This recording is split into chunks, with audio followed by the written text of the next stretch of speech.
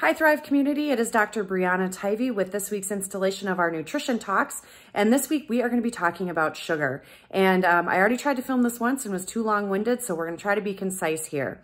Um, I wanna start by talking about the ways in which sugar affects our health. Uh, first and foremost, it can have a great effect on weight gain and obesity because when we're eating too much sugar, we get spikes and drops in our blood sugar and it just makes us crave more sugar and your body only knows to burn through that source of energy rather than tapping into its own sources of energy like your own fat.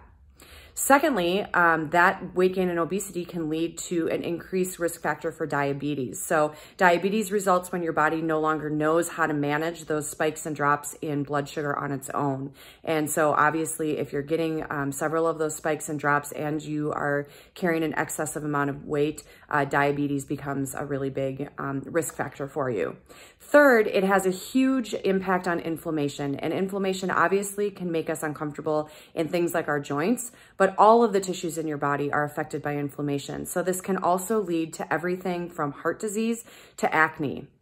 And now these three things in combination, weight gain, diabetes, and inflammation, all increase your risk factors for cancer. So all of these sort of subcategories of risk can lead to much bigger risk like cancer.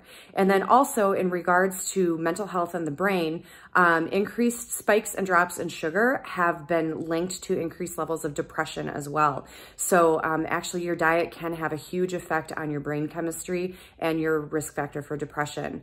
And um, the last thing I wanna mention on that is that more and more studies are coming out that are linking um, excess sugar consumption to increased risk for things like dementia and Alzheimer's. So certainly something that we wanna um, keep our eyes on. So um, the first piece of advice that I would give you in regards to um, trying to cut down your consumption of sugar is to start paying attention to your labels. So simply look at your ingredient list when you're at the grocery store now and start to um, just realize what's actually in what you're buying because sugar is hidden all over the place. And just remember that quantities um, are listed in order of um, like how, how much is in that uh, particular product. So if sugar is number one, two, or three on the list, you're just getting a ton of added sugar in whatever it is you're buying.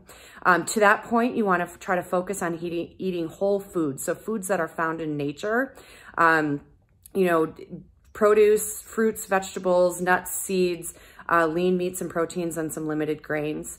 Um, and also to that point, um, when we're wanting to get something sweet or that sugar, um, try to find it from natural sources. So things like um, fruit is a great way to get uh, that sweet factor um, satisfied. And also nut butters can be a really great way to incorporate that as well.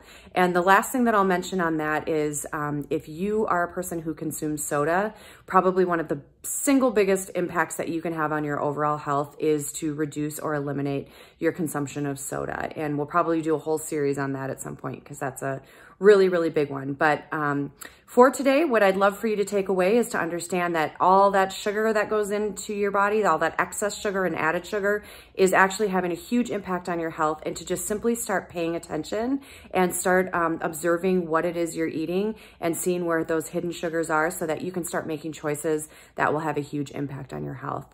I hope this helps. We'll be back next week. Be well.